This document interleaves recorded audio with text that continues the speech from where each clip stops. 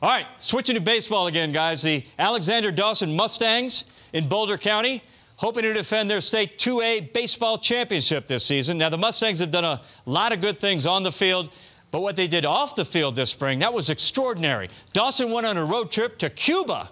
Here's Troy with more on this historic trip. Yeah, Lionel, it was two years in the making. These boys planned this trip. The Alexander Dawson players, they wanted to find a unique way to give back while also creating an unforgettable experience. Here is their story. You probably have heard the story about a high school baseball team fleeing to Sunshine for spring break, but you probably have not heard about this team and this spring break. A few weeks ago, Alexander Dawson, the reigning Class 2A champs, packed 700 pounds of donated equipment and headed to Cuba as one of the first American teams to visit the country. A lot of the equipment was our own at one point, stuff that we felt very sentimental about. And I think that was the really uh, important part about it. Motivated by Clemente, who speaks Spanish, the idea hatched two years ago as historic tension between the United States and Cuba eased and diplomatic relations became restored.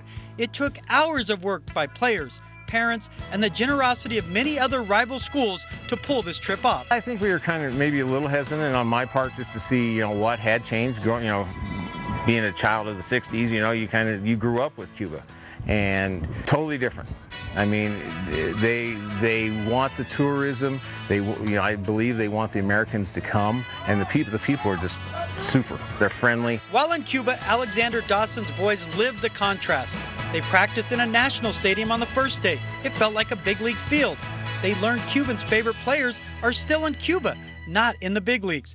The Dawson boys staged two clinics in lesser developed areas of Havana for more than 100 kids. Those moments became seared into the players' brains they worked with kids, in some cases, who had never seen a white baseball with seams. This one kid was asking everyone for gloves and like pulling on their shirts, and I went back there and I got him a fresh baseball out of the um, plastic, and I gave it to him, and he was just like took off with it, and his mom was like, "Here, let's put it in their bag so the coach doesn't see."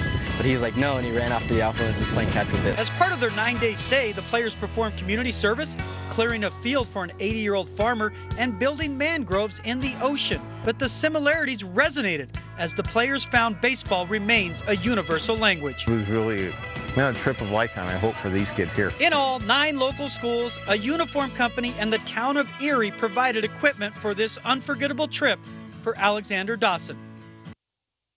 Yes, these boys, they managed to pack 700 pounds of equipment by getting up to the frontier counter and just literally, Lionel, packing baseballs one another, the weight until they got each bag to 50 pound max. A great trip. Thank you to Alexander Dawson for spending some time with us. Nice job, Troy. Great story. Thanks.